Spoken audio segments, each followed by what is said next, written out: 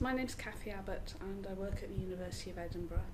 We are funded by MND Scotland to develop a new preclinical model of motor neuron disease.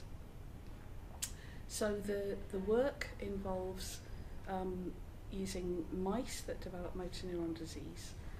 All therapies have to be tested um, in preclinical models, both in terms of safety but also efficacy. So you need to know what, what drugs work um, and how. What we're doing is really developing a very detailed, descriptive sort of catalogue of exactly how the disease progresses in this new mouse line. So we monitor exactly the, the stages at which the disease starts to manifest itself and how it progresses.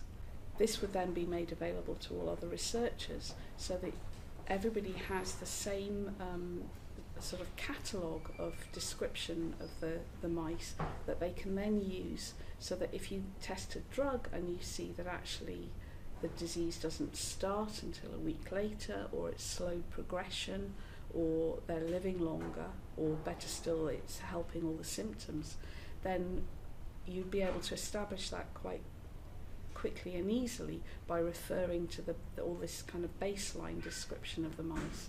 So we're hopeful that this will um, provide a useful new model for the, the whole community for testing therapies. The other part of the work is looking at changes in protein expression in the spinal cords of the mice.